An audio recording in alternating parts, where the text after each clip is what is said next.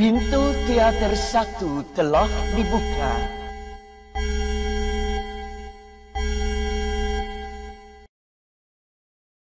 Hai everyone, welcome to UBR Entertainment. Apa kabar kalian hari ini? Kami doakan semoga dalam keadaan baik. Kali ini kita akan membahas seluruh alur cerita lengkap film Run Off versi UBR Entertainment.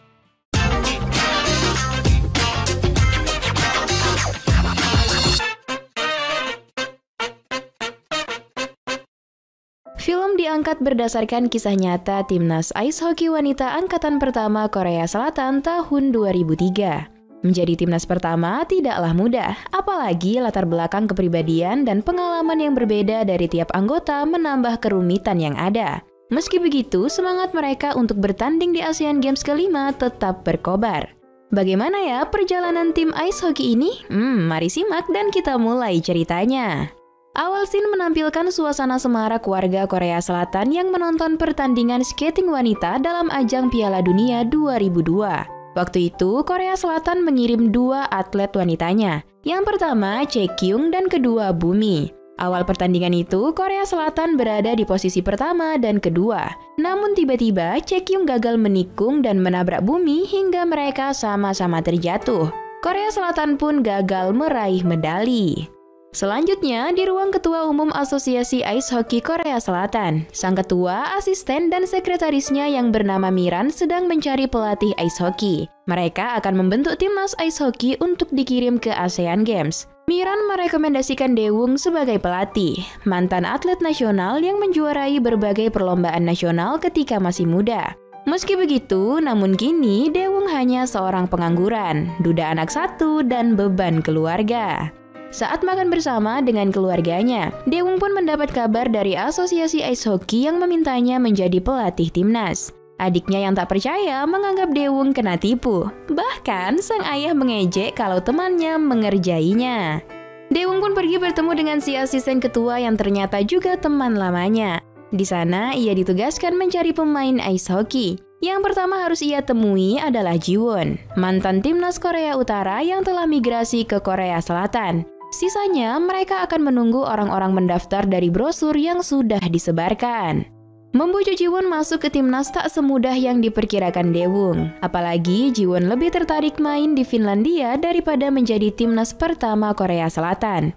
Meski begitu, Dewung tetap membujuknya, mengiming-imingi nanti di Asian Games hanya ada empat tim. Oleh karena itu, Korea Selatan akan lebih mudah bersaing untuk merebut medali. Jika sudah mendapat medali, maka akan lebih mudah bagi Jiwon berkarir di Finlandia.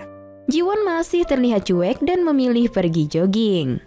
Malamnya saat kembali ke rumah, terlihat hubungan Jiwon dengan ayahnya yang tak akur.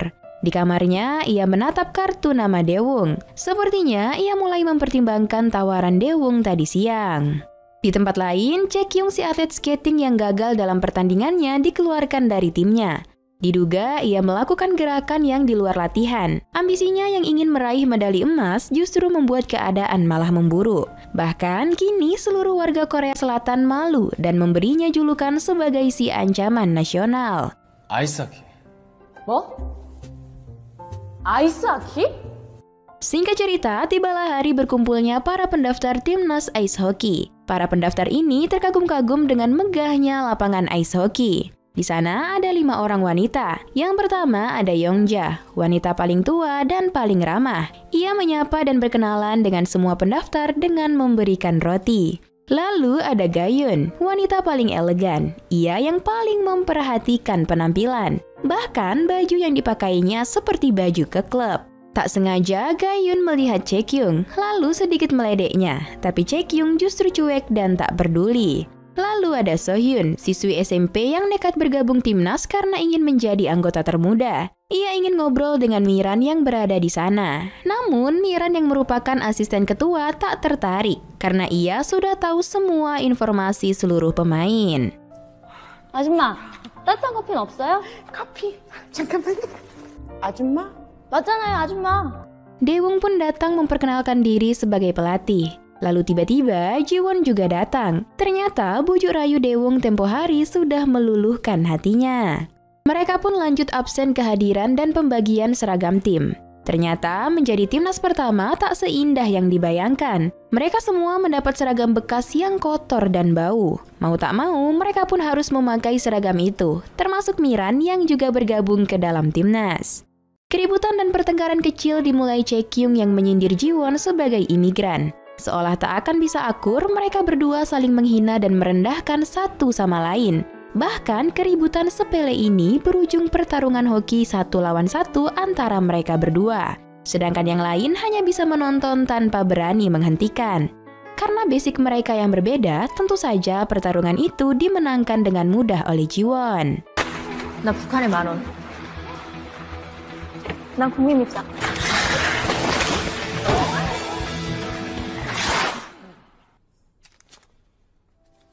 Belum sempat merasakan megahnya berlatih di lapangan hoki ini, timnas putri ini diminta pindah ke lapangan ice hoki lama karena timnas putra akan menggunakannya. Hmm, sangat menyedihkan. Sesampainya mereka di sana, mereka kembali terkagum-kagum melihat lapangan yang begitu bobroknya. Hal ini menyiratkan tak adanya support pihak asosiasi kepada timnas ini. Mereka seolah acuh dan merasa timnas ini tidak ada harapan. Akhirnya, latihan pertama dimulai. Chekyung terpilih sebagai kapten. Dewung yang seorang pelatih tak menunjukkan profesionalitas dan kemampuannya. Hal itu semakin menambah minusnya penilaian terhadap timnas ini. Bahkan mereka semua terlihat amatir, meski berlatar belakang pemain skating dan hoki. Hanya Jiwon, Chekyung, dan Sohyun yang sudah terlihat handal.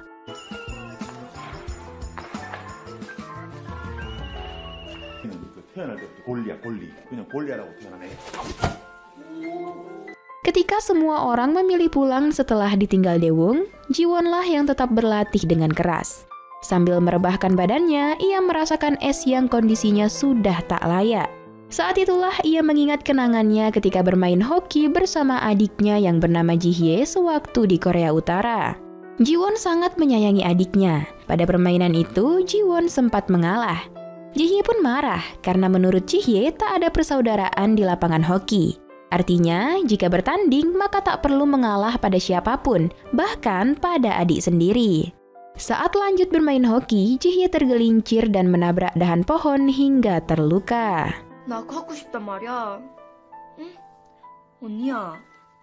Hari berikutnya, ketika tengah bersiap untuk latihan, ternyata mereka telah dijadwalkan melakukan pertandingan. Pertandingan mereka rupanya hanya melawan anak-anak. Mereka pun merasa terhina. Bagaimana bisa timnas melawan tim anak-anak? Meski begitu, pada akhirnya tim anak-anaklah yang memenangkan pertandingan. Inilah hukuman terlalu meremehkan lawan.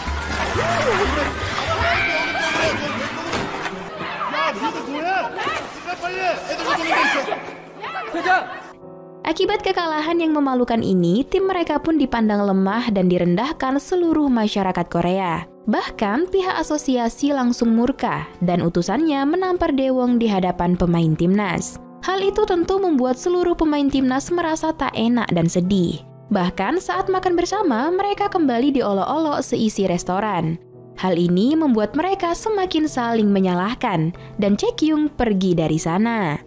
Di rumah Jiwon, ayahnya kembali mengungkit tentang perantara imigran yang mampu membawa seseorang dari Korea Utara menuju Korea Selatan tanpa tertangkap. Ayahnya ingin mencari Jihye. Hal itu membuat Jiwon murka. Delapan tahun mereka berusaha mencari Jihye, namun pada akhirnya mereka hanya ditipu. Jiwon sudah lelah mencari. Ia berkesimpulan sang adik mungkin sudah tiada atau sengaja tak ingin bertemu lagi dengan mereka. Sedangkan di rumah Dewong, ia merasa frustasi karena kekalahan anak didiknya. Ia sadar selama ini tak profesional dan tak serius dalam melatih timnya. Keesokannya, ia bermain ice hockey sendirian. Rupanya, anak didiknya yang baru sampai turut menyaksikan dan merasa terpukau dan bangga. Tim ini pun bersemangat memulai latihannya. Hari ini mereka sudah mendapat baju baru, seolah pertanda sebagai awal perjuangan yang baru. Mereka semua nampak bahagia. Latihan kali ini sedikit demi sedikit mulai ada kemajuan.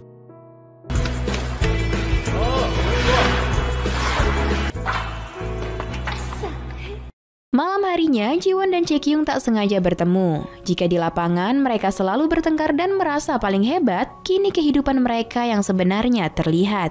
Jiwon bekerja sambilan di sebuah restoran, sedangkan Chaekyung menjadi supir pengganti. Sejatinya, mereka sama-sama perempuan yang harus berjuang keras demi bertahan hidup dan merubah nasib. Namun, mereka terus berpura-pura seolah mereka tangguh, namun sebenarnya rapuh. Keesokannya, timnas mulai menata posisi dan strategi. Namun sialnya, mereka justru tak bisa maksimal latihan karena listrik yang menunggak. Mereka pun bingung harus latihan di mana. Bukan Miran namanya jika tak mampu memberikan solusi. Ia pun membawa seluruh timnas latihan ke sebuah pulau. Pulau tersebut tak lain adalah kampung halaman Miran.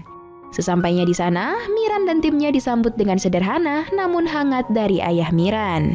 Tanpa berlama-lama, mereka pun membersihkan tempat yang akan dijadikan lapangan hoki.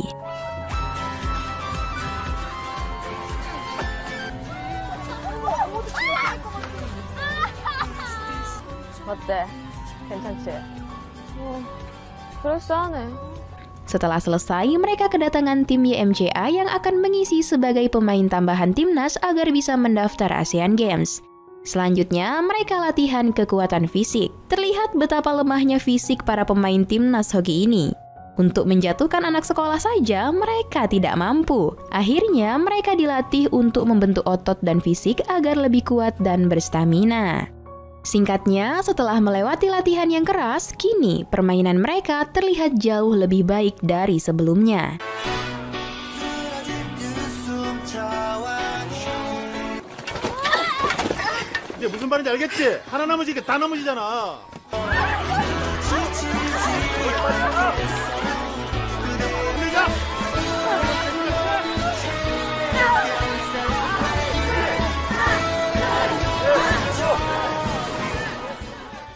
Bahkan kekuatan otot mereka sudah terbentuk. Mereka sudah mampu menjatuhkan anak SD tempo hari. Malamnya mereka makan bersama dan saling berbagi cerita. Kebersamaan yang hangat mulai terbentuk antara mereka. Saat itu, Chaekyung yang ambisius dan terlihat tegas ternyata takut ke toilet sendirian.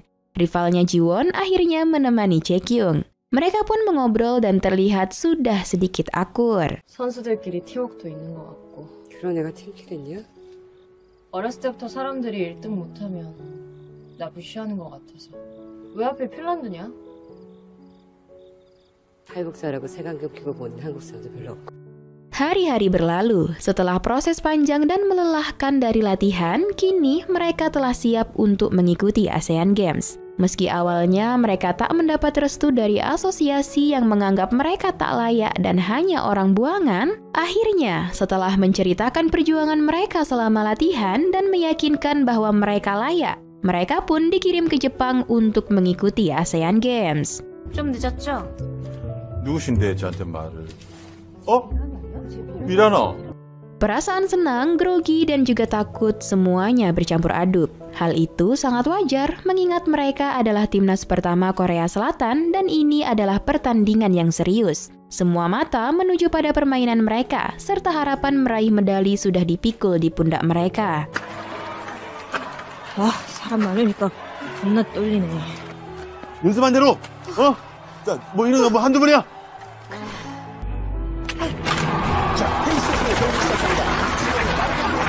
Rasa gugup bertanding di ASEAN Games membuat permainan timnas ini sedikit kacau. Mereka belum mampu mencetak gol di ronde awal.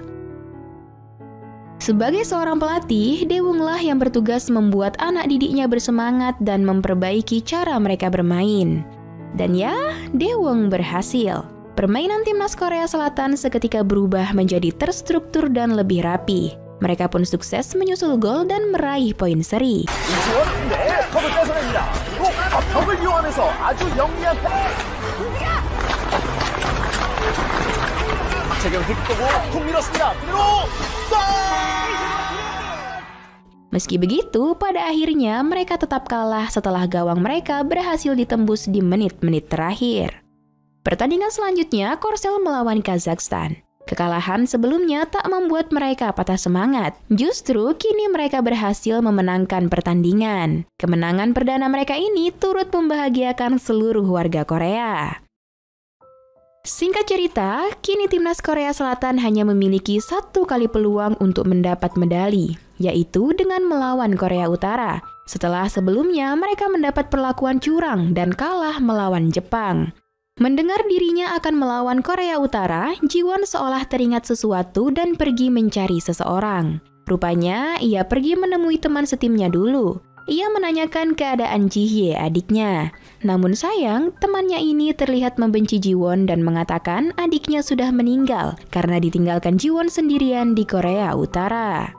Scene flashback ditampilkan, terlihat Jiwon dan adiknya sedang mempersiapkan peringatan kematian ibunya yang bertepatan dengan ulang tahun adiknya. Jiwon merasa risih karena adiknya terus merengek meminta kue coklat hadiahnya. Ia pun semakin kesal karena Jihye menghilangkan sepatu skating peninggalan ibunya. Jiwon murka dan menyuruh Jihye mencari sepatu tersebut sampai ketemu. Setelah lama Jihye keluar, ia tak kunjung pulang. Jiwon pun terlihat cemas. Kecemasan Jiwon berubah menjadi penyesalan kala ayahnya tiba-tiba menyuruh Jiwon berkemas dan segera ikut dengannya migrasi ke selatan. Jika tidak, mereka akan dieksekusi sebagai pengkhianat. Mereka pun terpaksa meninggalkan Jihye sendirian. Saat ada kesempatan, Jiwon menelpon temannya. Belum sempat ia menitipkan pesan, terdengar suara Jihye di balik telepon. Jiwon tak bisa menahan air matanya. Lalu ia terpaksa berbohong pada adiknya jika ia akan pergi sementara waktu dan akan segera kembali. Sambil menahan kesedihannya, ia berjanji akan membawakan kue coklat untuk adiknya itu. Namun, sampai sekarang ia justru kehilangan jejak Jihye. Rasa sesalnya yang terus menghantui membuat Jiwon tak bisa memaafkan dirinya sendiri. 내일 북조선이랑 시합이디. 나 맵지 않았네. 나 때문에 지혜 두고 온 거잖아. 내가 미안하다. Sebelum pertandingan dimulai, ada kejadian yang tak menyenangkan. Seolah memiliki dendam lama, semua pemain berjabat tangan. Namun, tangan Jiwon tidak disentuh sama sekali. Hal itu tentu menyakiti hati Jiwon. Lalu sekilas ia melihat sosok yang familiar dengannya. Jiwon berusaha memastikannya. Dan benar saja, itu adalah Jihye. Tentu saja Jiwon syok melihat Jihye. Perasaannya campur aduk saat itu. Ia pun semakin tak fokus dalam permainannya. Ia hanya fokus melihat Jihye. Akibatnya, permainan mereka menjadi kacau karena kurangnya komunikasi. Pertandingan juga semakin memanas ketika Jiwon cedera karena menjadi incaran tim Korea Utara.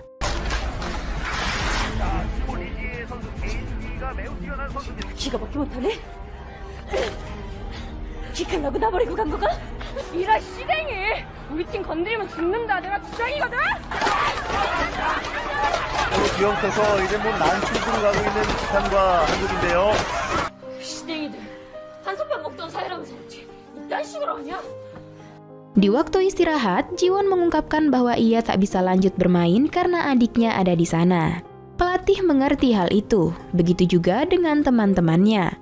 Ronde kedua ini, timnas Korea Selatan terlihat berjuang sangat keras tanpa Jiwon yang merupakan inti kekuatan mereka. Mereka jatuh bangun berusaha sekuat tenaga mengejar ketertinggalan poin dan mempertahankan gawang agar tak kebobolan.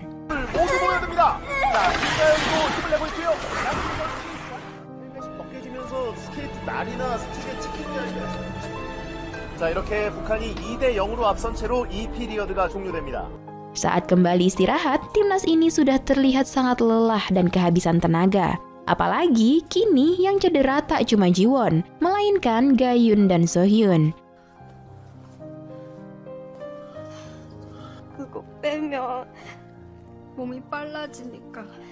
Melihat teman-temannya berjuang mati-matian, akhirnya Jiwon memutuskan untuk lanjut bertanding. Ia mengubur dalam-dalam perasaannya. Meskipun adiknya dan bayang-bayang masa lalu mengikutinya, tapi ia harus berani melawan dan berjuang demi negaranya kini. Sekembalinya Jiwon, kini Korea berhasil menyusul poin dan memimpin alur permainan dengan baik. Setelah melewati pertandingan yang penuh emosi dan menguras tenaga, permainan pun ditutup dengan skor imbang dari kedua negara. Yang artinya mereka sama-sama pulang tak membawa medali. 동생이 날 마지막으로 본 날이야. 비겁한 모습으로 남기 싫어. 어, 엄청난 속도로 북한 진영에 실주합니다. 질주하는 박재경 빠릅니다. 박재경 빠릅니다. 네, 박재경 선수 스케이팅 보세요. 손톱들의 자세입니다.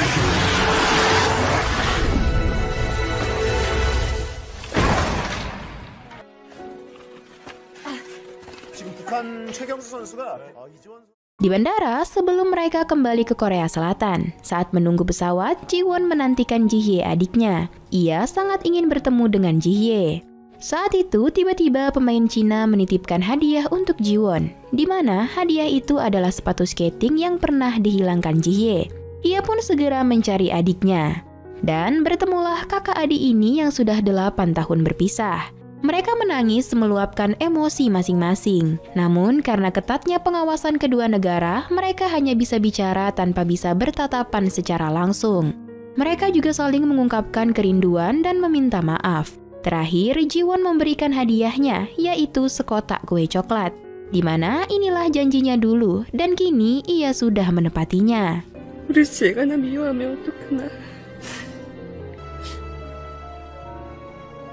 내가 얼마나 기다렸는데.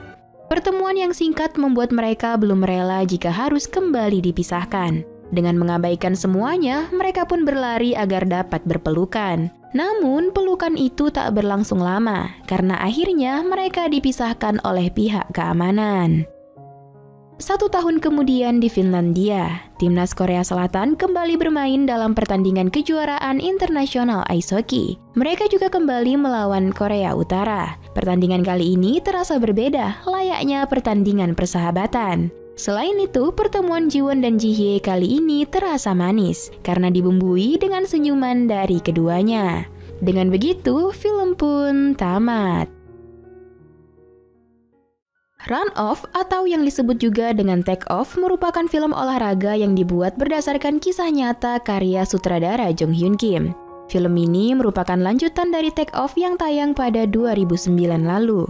Yang membuat cerita ini begitu langka adalah bahwa film ini tentang wanita dan olahraga yang bisa dibilang cukup keras. Dalam pembentukan tim ice hockey wanita nasional ini, tentu saja kita tidak dapat menerka apa saja yang telah dilalui oleh para wanita kuat ini. Sedikit menyentil tentang bagaimana asosiasi olahraga bersikap abai terhadap para tim-tim baru, yang bisa dibilang cukup menyayat hati melihat atlet-atlet diperlakukan seperti itu.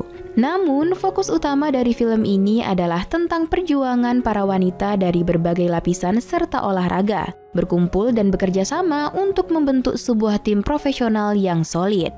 Peran Sue dan Dal-soo serta aktris-aktris lainnya membuat film ini seperti memiliki jiwa. Terlebih, Sue yang biasanya terlihat feminim di berbagai film lainnya, dalam film ini ia berhasil membawakan sosok penting Jiwon dengan sangat baik.